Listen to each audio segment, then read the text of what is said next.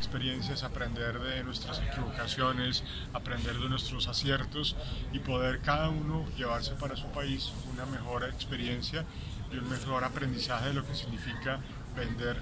el país de cada uno de nosotros. ¿Qué es lo que más le llama la atención de Bolivia en cuanto a la marca país? Bolivia es un país que me gusta mucho, me parece que es un país muy auténtico. Yo creo que el trabajo que se ha hecho de marca país refleja eso y esa, ese trabajo pretende fundamentalmente mostrarle al mundo esas raíces, esa historia, esa cultura que tiene Bolivia, eh, claramente eh, le sirve mucho al país y le sirve mucho a todo el interés que tiene Bolivia por atraer más turismo, por atraer más comercio, para que la gente pueda realmente conocer lo que, lo que es realmente Bolivia.